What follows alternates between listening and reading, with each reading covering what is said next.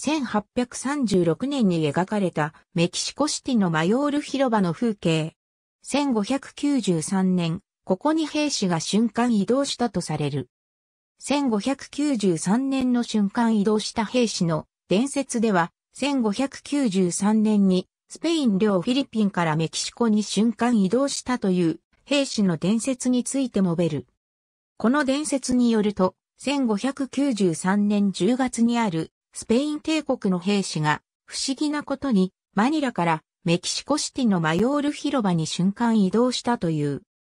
彼はこの瞬間移動の直前にフィリピン総督のゴメス・ペレス・ダスマリニャスが暗殺されたことを説明したが、これが事実であることが後に太平洋を横断してきた船の乗客の知らせによって立証されるまでメキシコ人たちは自分はフィリピンから来たという彼の主張を信用しなかった。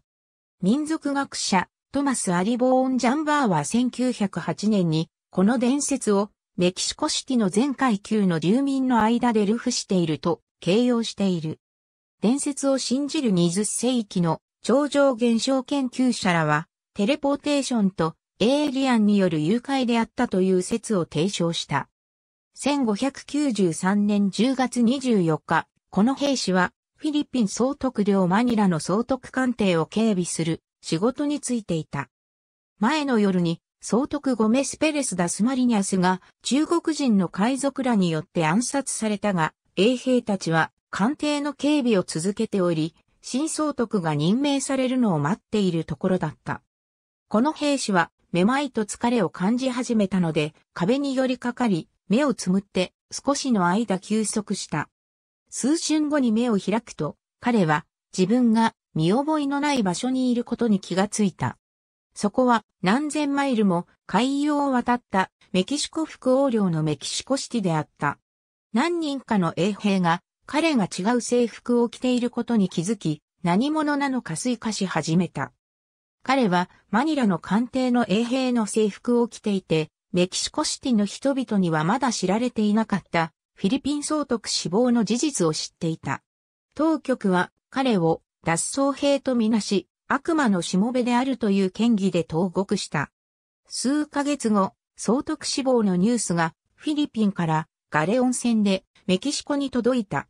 乗客の一人が投獄されている兵士を知り合いであると認め、総督が死亡した翌日にフィリピンでこの男を見かけたと証言した。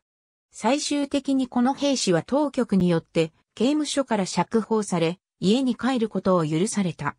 メキシコ在住のアメリカ人民族学者トマス・アリボーン・ジャンバーはハーパーズマガジン1908年12月版でこの物語をレジェンド・オブ・ザ・リビング・スペクターと題して小述した。ここで兵士の名前はヒルペレスであるとされた。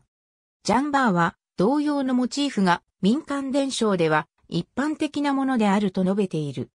例えば、ワシントン・アービングのアルハンブラ物語は、ガバナー・マンチョザ・ソルジャーという、この伝説との類似点を有した物語を収録している。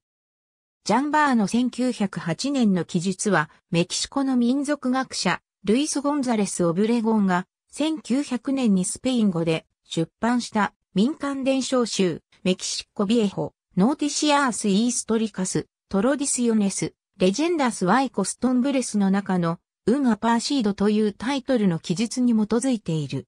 オブレゴンはこの話の出所をたどり、スペインによるフィリピン征服について述べた、ガスパール・デ・サン・アグスティンによる1698年の記述に行き着いたが、そこではこの伝説が事実として扱われている。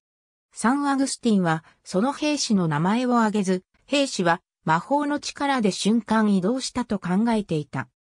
ジャンバーによると、オブレゴンは、後にフィリピンの代理総督を務めたアントニオ・デ・モルガが1609年にダスマリニャスの死が同じ日のうちにメキシコの人々に知られていたと記述したと主張しているという。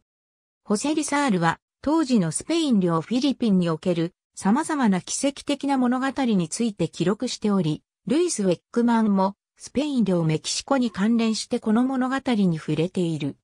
オブレゴンの後継者アルテミオ・デ・バジェ・アリスペによる1936年の作品集、ヒストーリアス・デ・ビボス、ワイムエルトスには、ポル・エル・アイ・レビーのポル・ラマール・セフエという題でこの伝説の物語が収録されている。この物語を超常現象で説明しようと試みた作家たちもいた。